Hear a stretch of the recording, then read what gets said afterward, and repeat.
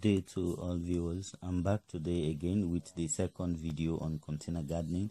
As i mentioned in the first video that the essence of container gardening is for residents of urban areas where most compounds are paved or with no outside space for gardening to grow crops using containers. I started with um, very few containers and now it has increased as i have added more crops. My containers are basically collected from within plastic bags, old buckets, cement bags, wooden boxes from used timbers during the construction work at home. It's basically get your container, anything spacious enough for your crops to grow in. Fill it with um, fertile soil. Make sure um, you remove all undecomposable materials from it, including big stones, as um, these will obstruct root growth. After filling your container, water well and then plant your crop. With a good agronomic practice, you will see it growing well like it would when planted in the soil. I started with two potted tomatoes, a watermelon, few ornamental plants, and now I have increased the number as more crops have been planted. The tomatoes are fruiting, the watermelon is flowering, and um, the first spring onion is developing well. I will show you them all in this um, video session so stay with me and let's take a view of the crops i'm having in my container gardening so i thank you very much. Of course you have to be in a constant touch with your crops. As you can see now i'm observing the plants for pests and disease infections and other irregularities that may tend to disturb the crops growth and yield abilities.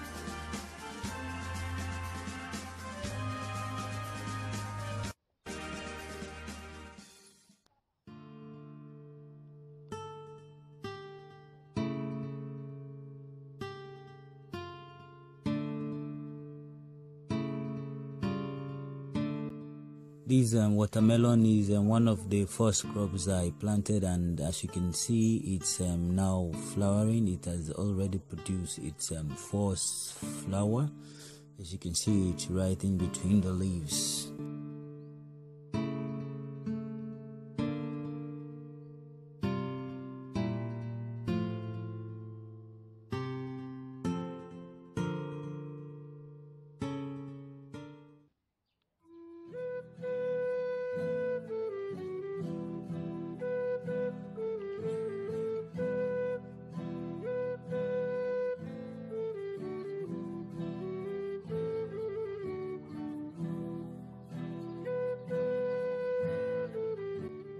I cover the soil tops in the containers using the floor mat to prevent chickens from pricking into the soil and um, to also help retain moisture for a longer period.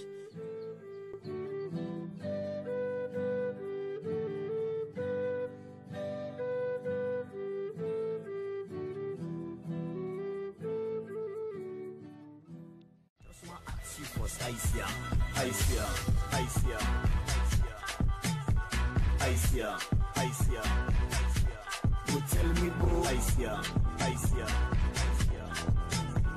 Aisha, Aisha. I know I'm buying a test.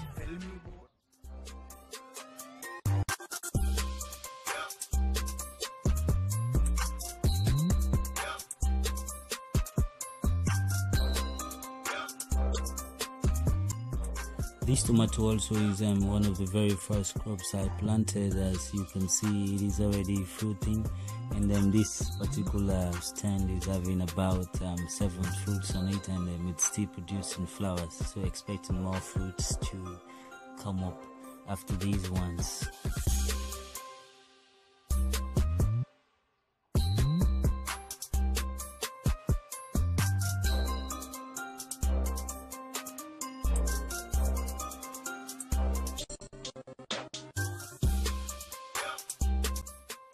So these um, tomato crops um, were staked as um, the weight of the fruit do tend to bend um, the stems over. So that is why you have to stake them to support it from bending over.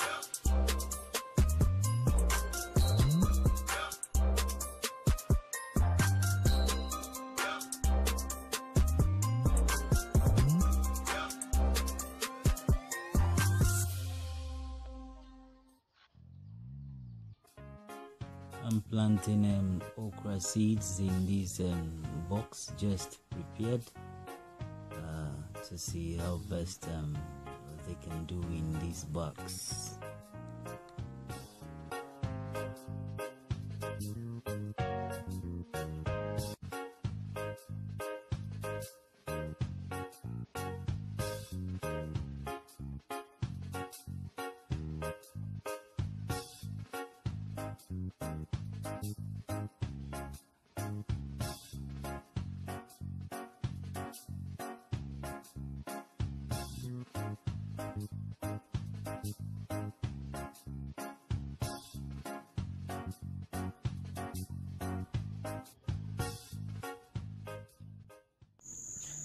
So far these are what i'm having for now and i'm expecting to increase on it. And i'm working on setting up my first hydroponic system which probably will be featured in my next video. So whosoever is watching this video should know now that um, crops can be grown well in containers filled with soil just as it would in um, when planted on the ground.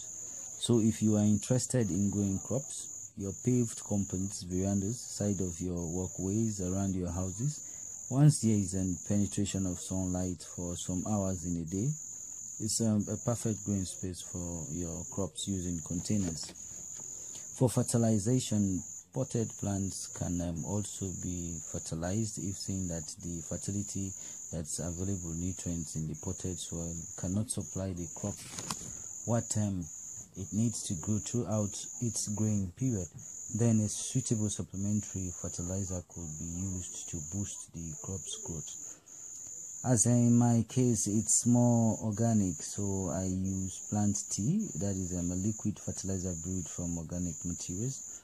But you can also use inorganic fertilizers if you choose to, but um, are not environmentally friendly. For more videos on crop cultivation, you can contact the YouTube address below as I have um, previous videos uploaded there. You can also contact um, the web address below for any information, and I'm available on um, a wider range. The Facebook address displayed also, so please don't forget to subscribe to the channel and um, always click the like button, of course, if you like. So uh, I thank you very much till my next video session